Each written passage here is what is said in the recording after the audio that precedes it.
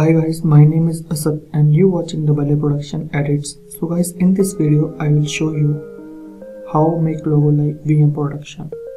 I'm already make that logo imperfectly, but in this video I will show you the basic shape that I use in it. Don't worry, I also share the PSD file. You can easily edit it, text and make your own creation photography logo I mentioned the technique in the end of video. You can watch it and follow my steps to edit the logo. So guys, let's get started.